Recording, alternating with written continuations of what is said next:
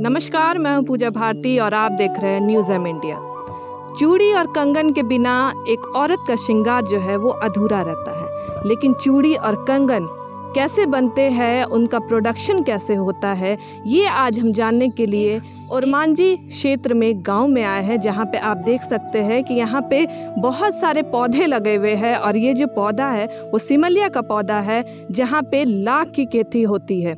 ये ये जो खेती है, ये लगभग 500 यहाँ पे पौधे लगाए गए हैं और यहाँ पे उसके ज़रिए इस छोटे छोटे पेड़ में ला की खेती होती है। आप देख सकते हैं कि ये जो आपको सफ़ेद तरीके से दिख रहा है, यही एक ला का एक छोटा सा बेसिक प्रोडक्शन है जो यहाँ से निकाला जाता है। फिर इसको प्रोसेस में लाया जाता है और अभी हम बात करने के लिए यहाँ पे कुछ फार्मर्स हैं, उनसे जानेंगे कि ये जो ला की जो खेती होती है, वो कैसे होती है, इसका क्या खासा प्रोडक्शन है, क्या प्रोसेस है, उनसे खुद जानेंगे।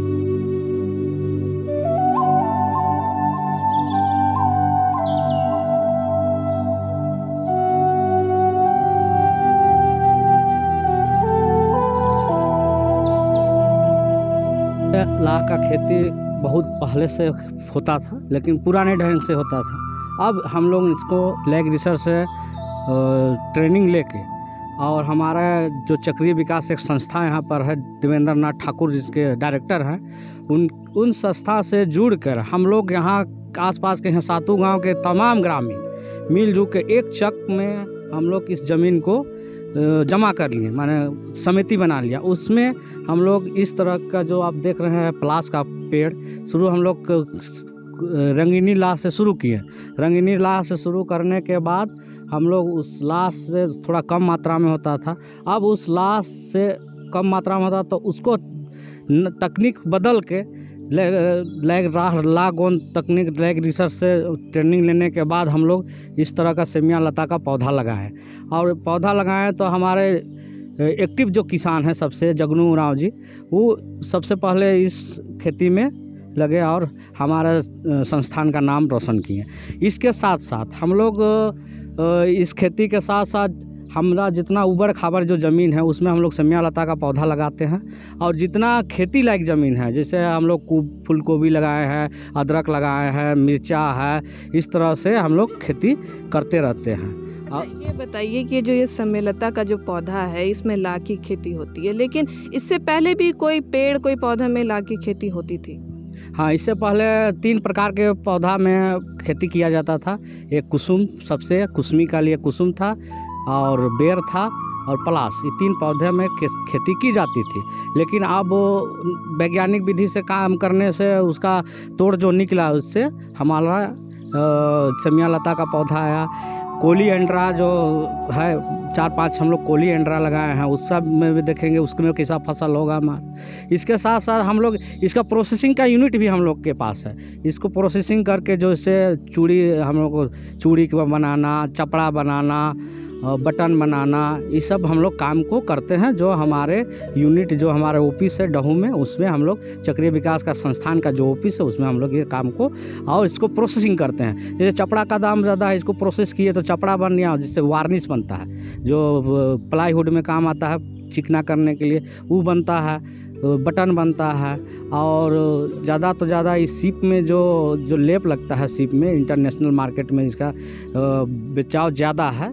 इसलिए इस- थोड़ा महँगा ही बिकता है। हमेशा इसका दाम सेब से तो अधिक रहता है जैसे कश्मीर में सेब मिलता है ना उससे हमारे झारखंड में जो पलास कुसुम बैर सेमिया लता एंड्री कोलिएंड्रा आदि जो पौधे हैं उससे हमारा कश्मीर से हम अच्छे जगह में हैं हमारा झारखंड अच्छे जगह में है और हाँ, इनके जो हम लोग जो काम कर रहे हैं जन कल्याण है यहाँ के आसपास के तमाम गाँव वाले माने तमाम यहाँ से जो पहाड़ दिख रहा है वहाँ तक हम लोग इस पौधा को और इस तरह से जैसे जंगल में लगा के अच्छा और- ये बताइए कि वैज्ञानिक जो आते हैं तो आप लोगों को कुछ फ़ार्मिंग की तकनीकी सिखाते हैं टेक्निक सिखाते हैं? हाँ एकदम वो आते हैं तो समय समय में हमको दवा देना के लिए कि इसमें क्या बीमारी लग गई है उसके बारे में बताते हैं पौधा की दूरी कितने रखना है वो ट्रेनिंग दिए अब हम लोग सीख गए हैं तो अभी हम लोग चौदह एकड़ में अभी यहीं पर पौधा लगा रहे हैं। हमारे बिचड़ा तैयार है हमारे नर्सरी तैयार है आगे- आगे जो आप लोग मतलब आप लोग यहाँ पे पौधा से फिर यहाँ से ला निकालते हैं फिर आप लोग ये सब निकाल के फिर एक प्रोसेसिंग यूनिट में आप लोग जा कर के जन कल्याण में जा कर के ये देते हैं। जी। यहाँ से हम लोग का ला जैसे निकाला और जिसको बीहिन का ज़रूरत हुआ तो वे बीहिन ले लिया। और जो हमारे पास जो प्रोडक्ट बच गया, उससे हम लोग उसका प्रोसेसिंग करके चपड़ा बनाते हैं, बटन बनाते हैं, जिससे चूड़ी बनता है। और तरह तरह के चीज़ बनते हैं लाश। लाश से हज़ारों प्रकार की चीज़ बनती है। जैसे मोबाइल में आप देखते होंगे, जो वार्निश जो छोटा छोटा जो है सील मारने वाला, लाह का सील रहता है। कितना फ़ायदा आप लोगों को ये सब चीज़ से पहुँचता है? करीबन कितना फ़ायदा पहुँचता देखिए हम लोग यहाँ संस्था को लगभग एक करोड़ हर प्रति साल एक करोड़ तक का एक, एक करोड़ डेढ़ करोड़ तक का फ़ायदा होता है। जिसमें सॉइल का कटाव नहीं होगा इससे 100 परसेंट रेन वाटर का उपयोग होता है इसमें और इसलिए इसका ग्रोथ जो है कि बहुत तेज़ी से होता है। इसका इरिगेशन सिस्टम जो है कि इस तरह से इसका बना हुआ है। तो 10 लाख लीटर पर हेक्टर पर इंच बारिश में हम लोग इसको कंजर्व करते हैं सॉइल को हम लोग करते हैं वेस्टलैंड इसमें घास भी नहीं उगता था। इस वेस्टलैंड में मल्टी लेयर क्रॉपिंग किए हैं। ट्यूबर लगा हुआ है सब जो ट्यूबर जो है ना, ज़मीन के अंदर लगेगा। और ये जो है कि छाया में होने वाली चीज़ है। इसको सूरज की रोशनी से हटा दिए, छाया में भी हम लोग को प्रोडक्ट मिल रहा है। और समझ जाइए ये जो है कि रिमोट गाँव में ही इसका उपज होता है और इसका विश्व स्तर पर 60 परसेंट पूरे विश्व में जितना कंज्यूम होता है, उसका 60 परसेंट इसी रीजन में, इसी रीजन में खेती होता है। तो न्यूनतम आय वर्ग के लोग जंगल किनारे में रहते हैं, उसकी आय का वृद्धि जो है, लाह की खेती से उसकी दुगुना तीन गुना हो सकती है और इसका आजीविका जो है कि सुदृढ़ हो सकती है। आजीविका का आर्थिक दिशा से इसकी आजीविका सुदृढ़ जिसमें हम लोग गाँव वाले हैं और इसका बंटवारा हम लोग देखिए, हम लोग इस प्रकार, तीन तीन, एक का बंटवारा होता है, तीस तीस तीस, एक, दस का बंटवारा है।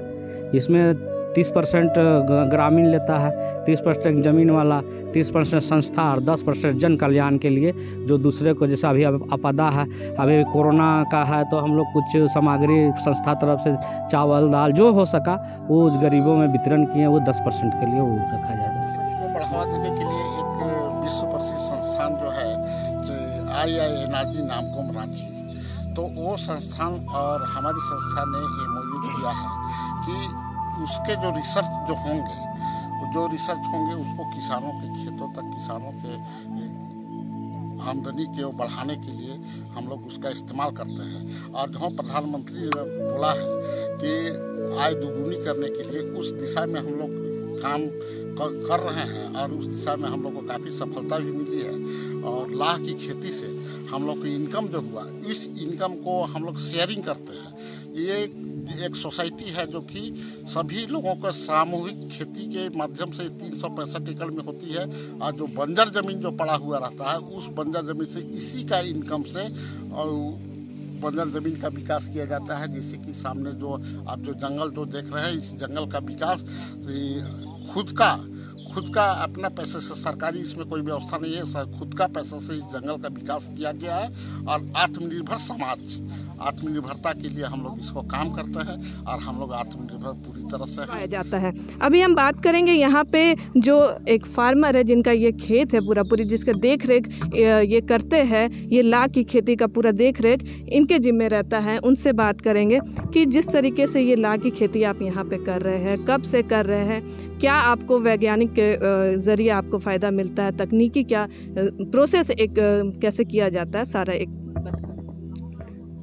हम तो पहले 2002 में ट्रेनिंग लिए थे नामकुम से, लाख अनुसंधान वहाँ से ट्रेनिंग लिए तो वहाँ का जो ट्रेनिंग लेने के बाद में उन लोग से संपर्क बना तो वही लोग जानकारी के माध्यम से सब कर रहे हैं। पहले रंगेनी कर रहे थे, अभी कुसमी कर रहे हैं, ये सिमिया लता में।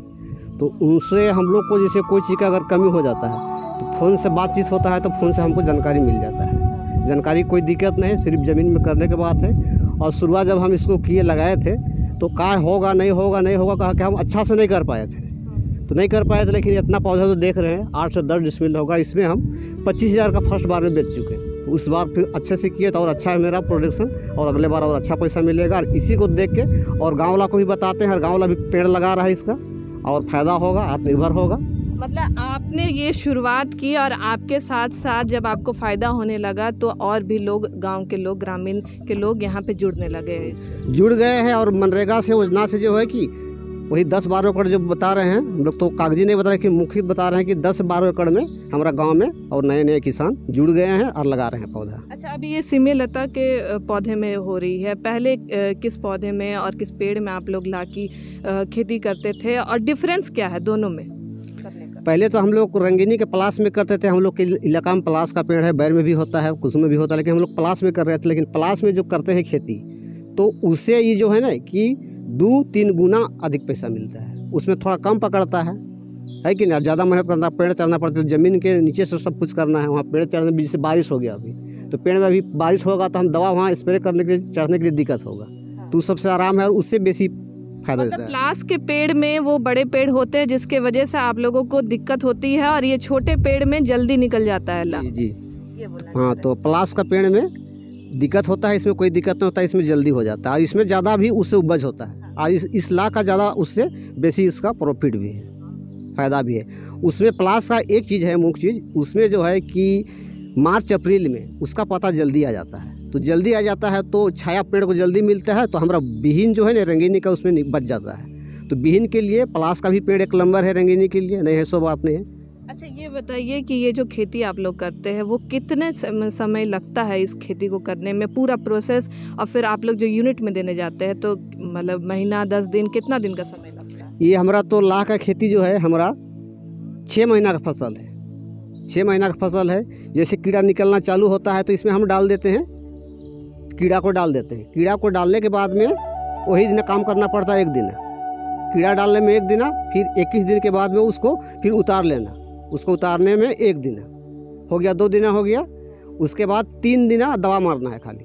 पहला दवा मारना है दूसरा तीसरा। इतना ही दवा मारना उसके बाद मेरा फ़सल तैयार हो गया उसके बाद कटिंग करने में जो समय लगता है बस यही लगता है और कोई समय नहीं मतलब तकरीबन छः महीने का समय आप लोगों को लगता है ये ला का प्रोसेस पूरा पूरी करने में? नहीं छः महीना में मेरा फ़सल तैयार हो जाता है। लगभग हमारा ये फ़सल तैयार करने में ना कि काट के निकालने तक में लगाने तक में हमको चालीस से पैंतालीस दिन लगता होगा। जी। उतना ही लगता होगा इससे ज़्यादा नहीं लगेगा। हमारे साथ कुछ किसान थे। इन लोगों का साफ़ तौर पे यही कहना है कि जो मोदी जी ने कहा है कि आत्मनिर्भर बनो और वही ये लोग ये काम कर रहे हैं। यहाँ पे खुद का खेती कर रहे हैं ला की खेती कर रहे हैं। ला से बहुत सिर्फ़ चूड़ियाँ नहीं बनती है, बहुत सारे सामान बनते हैं। ये लोग ला की खेती करके अपने आप को आत्मनिर्भर बनाने का काम कर रहे हैं और आधुनिक तौर पे खेती कर रहे हैं। पहले जो है नीम के पेड़ पे अलग अलग पौधे में, प्लास के पेड़ में ला की खेती की जाती थी, लेकिन उसमें उनको खासा फ़ायदा नहीं होता था। इसमें इसलिए ये छोटे छोटे पौधों में ये लोगों ने ला की खेती करना शुरू कर दी है और इनसे इनको फ़ायदा भी हो रहा है और खुद को आत्मनिर्भर भी